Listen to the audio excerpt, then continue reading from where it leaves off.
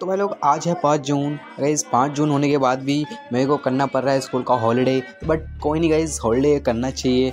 और मैं डायग्राम बना ही रहा था, उसके बाद मेरे को डायग्राम बनाते बनाते लग गई थी भूख। तो गाइज़ मैं चला गया ढाबा, और ढाबा में मेरे को देखने को मिल जाता है चना मसाला मतलब मैं वहाँ से ज़्यादातर यही खाता हूँ।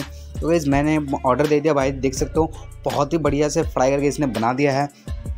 और मैंने थैली वगैरह ले ली है सलाद वगैरह जो खीरे वगैरह होते हैं, और लेके मैं अपने घर की तरफ़ बढ़ ही रहा था। तो देखने को रास्ते में मिला तीन कुत्ते तो इस बहुत ज़्यादा फाइटिंग कर रहे थे। बट कोई नहीं गई हम आते खाना खाने का ब्रश करते हैं। और गैस ब्रश करना बहुत अच्छी बात है, क्योंकि खाना खाने के बाद हमारे दांतों के लिए ब्रश बहुत ज़्यादा ज़रूरी है। तो गैस हमने किया ब्रश फिर उसके बाद पानी वानी पीकर, और इस ब्लॉग में कैस यहीं तक था। और बाकी मिनी ब्लॉग के लिए आप फॉलो कर सकते हो सब्सक्राइब कर सकते हो। और अभी के लिए इतना ही था, फिर दूसरे ब्लॉग में मिलूँगा, अभी के लिए बाय